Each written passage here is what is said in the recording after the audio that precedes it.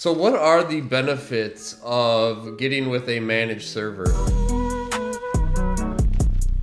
Final Web Design, this is Steve. All right, everybody, how are we doing today? Steve Mingleco, Final Web Design, and today I want to talk to you guys about one of the most important aspects of after your website is building, and it is about the hosting, the server, the maintenance, kind of the all over picture of what are people doing with their websites after they are launched and what is the biggest issue that I've come across over the years where people are not able to uh, understand exactly how to maintain and update and upgrade their website or even how to manage their server or their hosting environment so that they're able to optimize the performance and keep their website working in the future as times go on, as technology evolves, as things like iPhones and um, Androids and new technologies, iPads, all these things that are evolving. So I kind of want to go into the first thing and just kind of highlight that I want to talk about managed server hosting and maintenance and why I think that this is the most important service that we offer as a business and what most people don't understand once they have their their website launched. So what are the benefits of getting with a managed server? Well, basically the benefits is that basically somebody is taking care of and handling all of your website, everything with the the environment it sits on uh, going forward for you. And this has huge benefits for most businesses considering the price. Now, no, it's not a free service. You don't get to continue to build your website and maintain it forever. However, if you do get on the small like package, we can basically continue to work on it, update it, upgrade it. So the benefits are that basically, again, your site is able to evolve. Now, things are going to happen over the years. New versions of WordPress or Joomla or whatever plugins or extensions you currently are using for your business. These things are going to continue to evolve. Uh, code changes, you know, ES6, JavaScript, things like that, that need to match with the browsers and the new technologies. So basically, by opening up a, a managed hosting, you're able to continue to upgrade and update your website as the times continue to go on. So yes, your website should probably work fine for, you know, 6 months, a year, 2 years, 3 years. You never know, but eventually something's going to come across your website, whether it's an outdated extension or third-party plugin or just the, the core CMS itself or whatever technology you're using, and it's going to exploit or take down and affect your website. Now here's the big issue with that is that once your website's down, nobody can access it. Google starts to not like it for SEO, things like that. So always updating and maintaining. Now this can be done very simply if you stick with it. The problem that happens is people wait three months and then they wait six months and then something happens and then they reach back and they're like, oh my gosh, uh, something's wrong with the site. It's not showing up properly and all the time I already know in my head what's going on. It's like nobody's been maintaining the site.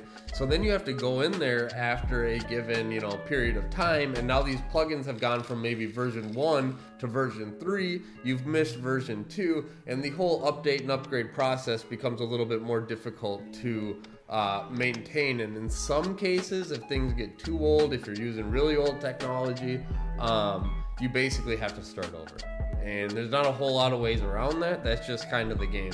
So what I always recommend with all of our clients is you always get on this managed server hosting because ultimately for the price, and I'll go over prices at the end, um, it's worth every dollar because the second you have a site that goes down, you can potentially lose customers, business, you know, all the things that go with it. And the longer it's down, then it can affect SEO and things like that. The other thing that the managed hosting involves that I think far too few people are taking advantage of is the fact that you basically are going to want to continue to secure the website. Now, there are so many things these days that happen as far as bots, as far as um, scrapers and things that go through your website and will send links and spam and all sorts of different information. Um, you need to be maintaining this. Otherwise, you can either bog down your server, you can bog down the, the traffic itself, the database. So there's a lot of different things that can potentially happen from a security standpoint if you're not continuing to manage the website. And what I could say about what I could say about managing the website that through managing the website, you're going to be able to continue to secure and make sure that the website is safe and that you're not being exploited to these hacks or these bots or these links or anything that could red list you or, or red hat you into a domain um, blacklist, which which is ultimately the worst case scenario. I've seen it happen. I do know ways to resolve it, but it's a headache. So just having security, and that's something that managed hosting has. We have the SiteLock security. So basically, it's a third party runs through the website, checks all the files are correct, checks if there's any malware or information out there, and will then um, update it for you. Sorry. Security would be the next thing. But what are the long-term effects of managed hosting? Long-term effects are that you have a successful website that continues to work and works great for uh, you and your business. That continues to send forms correctly. That continues to send emails correctly. That continues to function on all the iPhones and Androids and different responsive desktops. Um, so the benefits of the long term of getting on a managed hosting is that your website is always, always optimized and working correctly even if it's 2026. Well, granted, things don't change too much, or if it's uh, maybe a two-year-old website. So things will stay modern as the times evolve. And this is incredibly important because far, far too many people think that they can just go launch their website. And unfortunately, when they go to launch their website, they realize very quickly that in a few months they're getting hacks and things like that, as we discussed. So, the solution is to get on the managed hosting package. And I'm not trying to like sell this information. Like I want everybody to move to the. I mean, there's probably a handful of people who even use the service that are watching this.